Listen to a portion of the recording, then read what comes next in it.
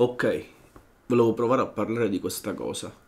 Non l'avevamo ancora fatto nello specifico, sicuramente in altri video avevamo accennato un po' questa cosa qua. Però un video dedicato non c'era ancora e ne approfitto ora, perché ho notato che da quando Fedez purtroppo ha scoperto di avere un tumore ed è stato operato, ogni giorno da qualche parte su Facebook leggo che qualcuno dichiara la stessa cosa. Famoso o no? E quindi parliamone. Se ti va. Ammettilo, quando hai letto la notizia, anche tu hai pensato che potresti avere un tumore. L'ho pensato pure io, ma quanto tempo è durato questo pensiero? Quanto fastidio ci ha dato? Cosa abbiamo fatto dopo? Siamo andati a farci tutti i controlli? O ce ne siamo fregati e il giorno dopo non era cambiato niente? In questo video vorrei parlare appunto della nostra ipocondria. Siamo ipocondriaci. Cos'è l'ipocondria?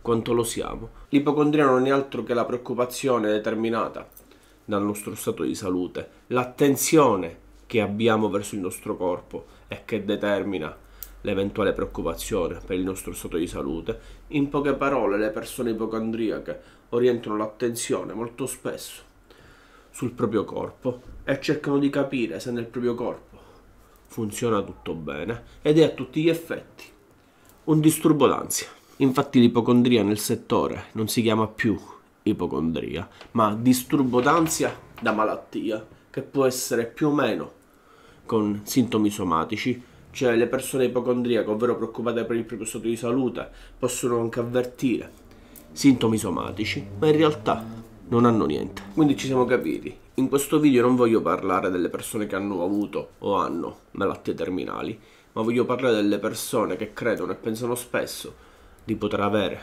malattie terminali. Ok? Sigla.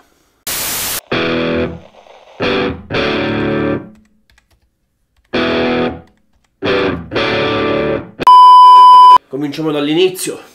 No, stavolta non ci penso proprio. Però cominciamo da metà anche perché magari alcune cose te le ricordi già. Però ricordiamocelo, te ricordi cos'è l'ansia? L'ansia non è altro che una tensione emotiva, spiacevole, che ci mette in guardia da eventuali minacce che potrebbero procurarci danno. Giusto? Te lo ricordi? Perfetto, e te lo ricordi pure dove possono essere percepite queste minacce. Naturalmente fuori da noi, ad esempio, se vedi un cane che ringhia per strada, attivi l'interruttore dell'ansia e te ne vai. Quindi la minaccia esterna, il cane potrebbe ferirti. Ma certe volte la tensione è determinata da percezioni che arrivano da dentro di noi, quindi dal nostro corpo e da come il nostro corpo funziona.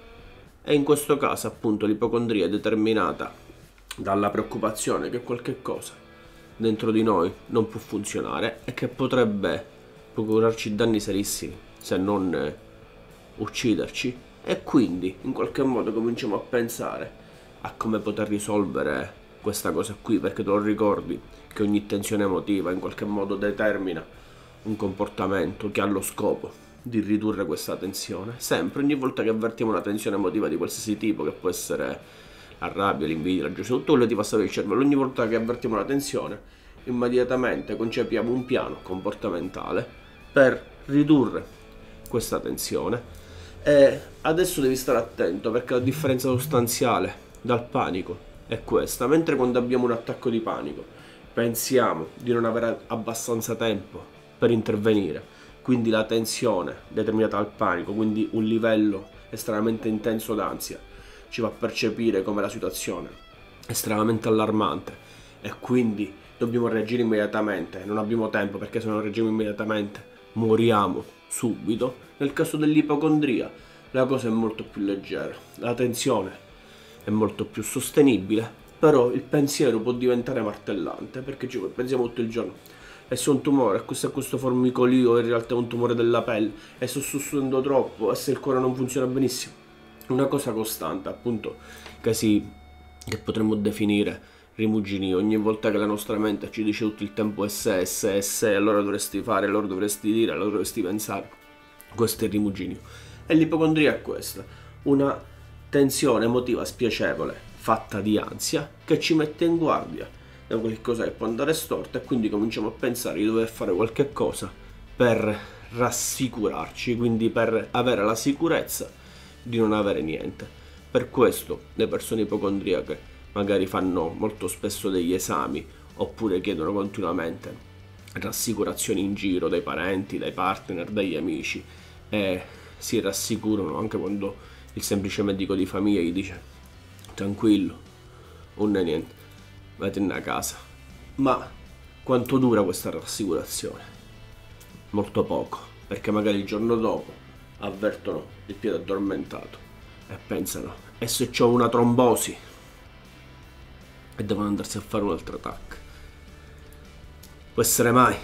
E quindi, e quindi dobbiamo smettere di essere eccessivamente rassicurati o incoraggiati a fare ulteriori controlli perché queste due cose qui diventano di fatto fattori di mantenimento del disturbo. È normale preoccuparsi per il proprio stato di salute. Ognuno di noi, più o meno, si preoccupa per il proprio stato di salute. Ipotizziamo che da questo lato non ce ne preoccupiamo affatto e da questo lato ce ne preoccupiamo troppo. Tutti noi, più o meno, siamo un po' nel mezzo. Magari non preoccuparsene affatto è ugualmente problematico, esattamente come preoccuparsene troppo. Tutti noi siamo nel mezzo e ognuno di noi sa che prima o poi morirà. Così funziona la cosa, senza trascurare comunque eventuali segnali. La prevenzione è giusta, ma non, diventa, non deve diventare ulteriore motivo di disagio, perché l'eccessiva preoccupazione è portatrice di disagio, perché a un certo punto le persone non ci sopportano più e ci dicono oh basta, eh, basta. E, e rischiamo pure l'isolamento. Comunque, la nostra qualità della vita, a parte tutto, diventa davvero compromessa. Comunque, il problema è che certe volte le soluzioni che tentiamo in realtà non sono la soluzione, ma rappresentano la cronicizzazione del nostro problema e quindi a costo di apparire eccessivamente stronzi. Gli altri dovrebbero dirci, guarda, adesso ci hai rotto le scatole. Eh, non lo so, non fa niente Comunque, come che si diventa così ipocondriaci?